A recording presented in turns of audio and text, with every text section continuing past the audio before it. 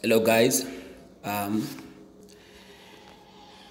this computer has been in preparing automatic repair window like this for a very long time and it, there is nothing that is changing. Now you have to watch this.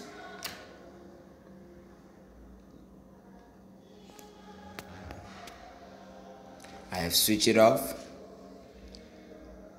then I have on it again. It will go like this.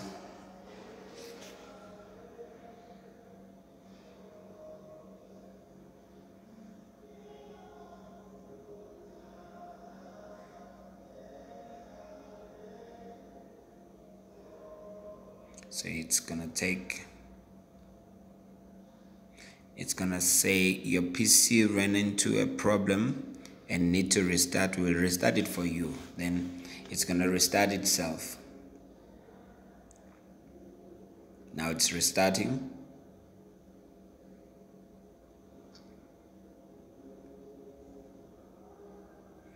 Then it's preparing automatic repair.